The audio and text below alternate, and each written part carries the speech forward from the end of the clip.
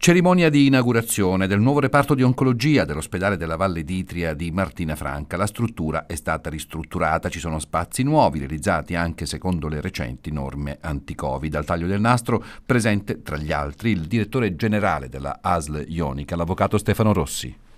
Ci è dispiaciuto per il disagio che i pazienti hanno dovuto subire nello spostarsi altrove, però ne è valsa la pena. Non si poteva fare diversamente e oggi festeggiamo eh, la riattivazione del reparto, tra l'altro vaccinando i, i, pazienti oncologici che sono qui in, in cura a Martina Franca, come stiamo facendo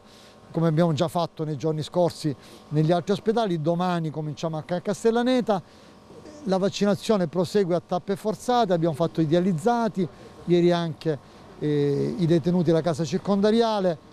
con la riserva ovviamente dei pochi vaccini che arrivano nel momento in cui ne arriveranno di più, siamo pronti ad andare a quel cambio di passo a cui tutti auspichiamo. All'inaugurazione era presente anche il dottor Salvatore Pisconti, direttore della struttura complessa di oncologia medica della ASL di Taranto. Una struttura che consente di avere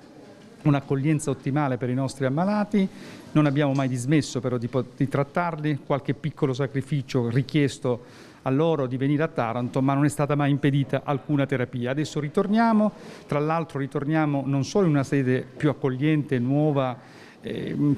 che dà maggior conforto, ma anche arricchita di professionalità perché abbiamo voluto anche mettere in organico una psiconcologa che sarà fissa per tutte le necessità, ahimè, che i nostri pazienti e anche le famiglie dei pazienti stesse richiedono l'assistenza stessa psicologica. In rappresentanza della Regione Puglia, l'assessore Donato Pentassuglia. Si riconsegna l'oncologia che è un grande segnale, non solo perché è il venerdì santo, non solo perché si fa il vaccino ai malati oncologici, ai loro familiari, a chi li assiste, è un grande segnale in questa giornata.